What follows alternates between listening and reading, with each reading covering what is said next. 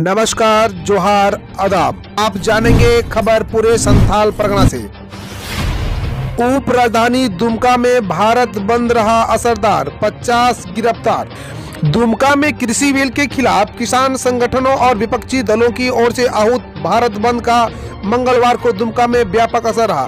बंद के कारण जनजीवन काफ़ी प्रभावित रहा। आवश्यक सेवाओं को छोड़कर हर चीज़ प्रभावित रही। सुबह से बाज़ार में सन्नाटा पसर रहा। बस स्टैंड में एक भी बसों का परिचालन नहीं हुआ। प्रदर्शनकारियों ने खुले हुए शॉपिंग मॉल व दुकानों को बंद करा दिया। पेट्रोल पंप में भी ताला लटका रहा। रेलवे स्टेशन पर बंद समर्थकों ने इंजन पर खड़े होकर नारेबाजी की।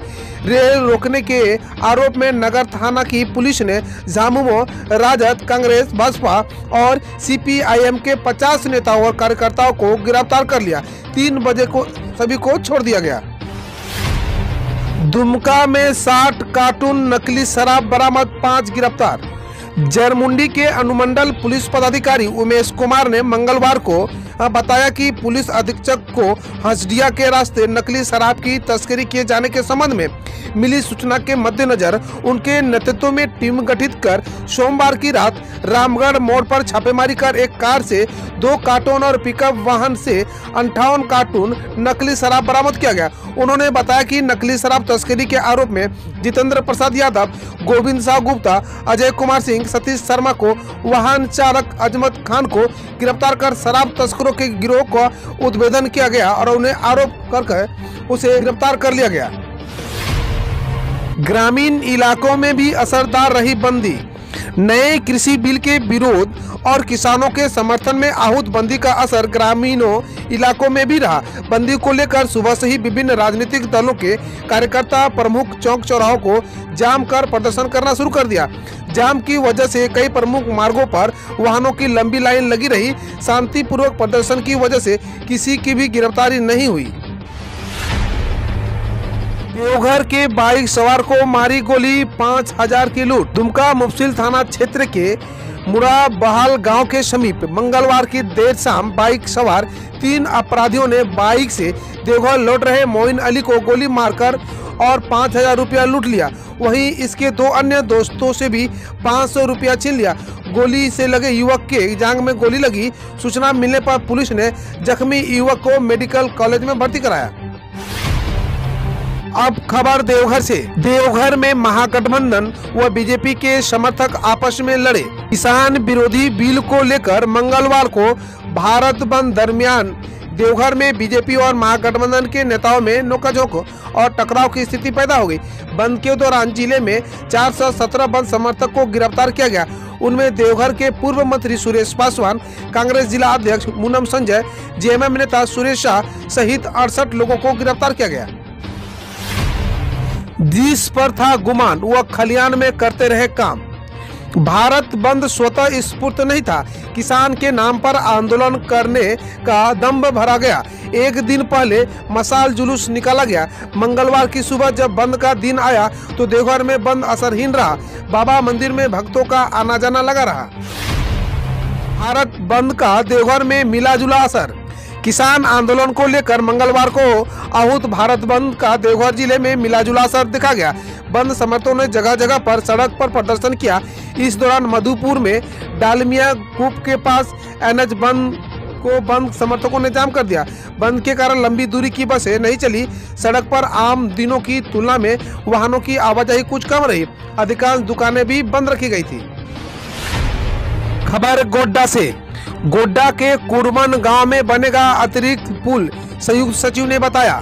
गोड्डा हसडिया रेल लाइन में गोड्डा सदर चल के कुरमन गाँव के लोगों की मांग पर अतिरिक्त रेल पुल की सहमति राज्य सरकार की ओर से गठित विशेष तकनीकी जाँच टीम ने दे दी है। राज्य के परिवहन विभाग के संयुक्त सचिव ब्रजेंद्र हेमरम की अगुवाई वाली तकनीकी जाँच टीम ने मंगलवार को कुरमान गाँव का निरीक्षण कर स्थानीय ग्रामीणों से बातचीत की और सभी पहलुओं पर विचार के बाद चार सदस्यीय टीम ने कुरमन सहित दर्जनों गाँव की आवाजाही की समस्या को ध्यान में रखते हुए वहाँ रोड अंडर ब्रिज के निकट ही पाँच मीटर स्पेन सहित तीन दशमलव आठ मीटर ऊँची बॉक्स ब्रिज के निर्माण का प्रस्ताव को हरी झंडी दे दी। स्पार्टन इलेवन, रॉयल व मनोरंजन क्लब ने जीते मैच।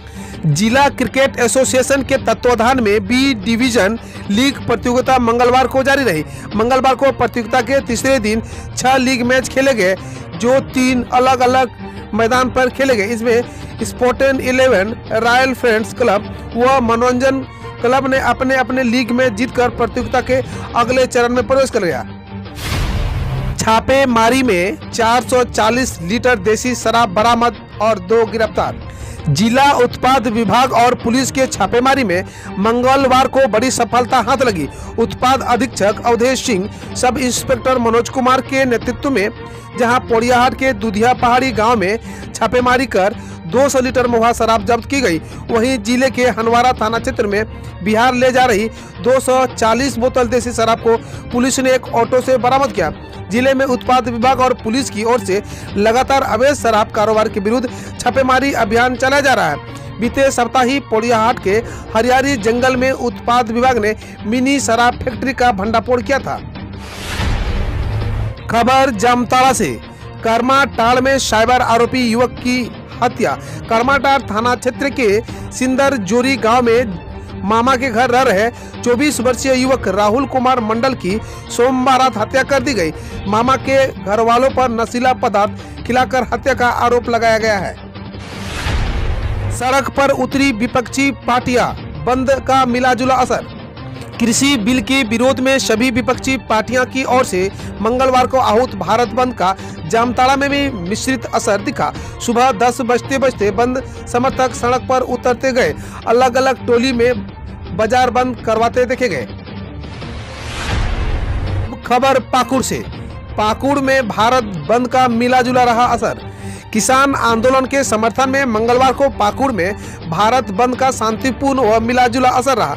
सुबह से ही विभिन्न राजनीतिक दलों के नेताओं ने व्यवसायिक प्रतिष्ठानों को बंद करवाया। हालाँकि दोपहर के बाद धीरे धीरे सभी प्रतिष्ठान खुलने लगे और वाहनों का आवागमन सुचारू रूप से चलने लगा। धान खरीद के लिए हावी हो रहे बिचौलिए। पाकुड़ ज़िले में सरकारी स्तर पर धान की खरीदारी शुरू नहीं होने के कारण किसान बेचैन है। धान क्रय केंद्रों में धान की खरीद अब शुरू होगी। इसकी अभी तक कोई सूचना भी नहीं मिली है। विभाग का कहना है कि धान की खरीदारी शीघ्र शुरू हो जाएगी।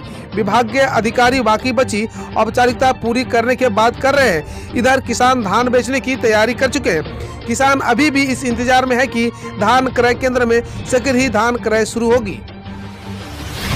झारखंड में 24 घंटे में कोरोना से एक भी मौत नहीं, एक नए पॉजिटिव केस मिले।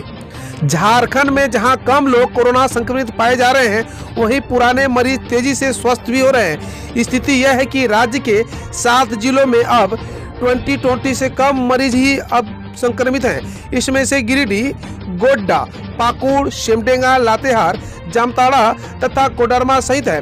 पूरे राज्य की बात करें तो सत्रह मरीज़ अभी संक्रमित है। रांची में सबसे अधिक सात सौ अड़सठ तथा पूर्वी सुमम में 260 मरीज़ अभी कोरोना संक्रमित पाए गए हैं। हम रोज ऐसे ही न्यूज़ लाते रहेंगे। तो यदि आपने अभी तक क्लीन न्यूज़ को सब्सक्राइब नहीं किया है तो पहले फटाफट सब्सक्राइब कर लें। साथ ही बेल आइकन को दबा दें ताकि कोई अपडेट मिस ना हो।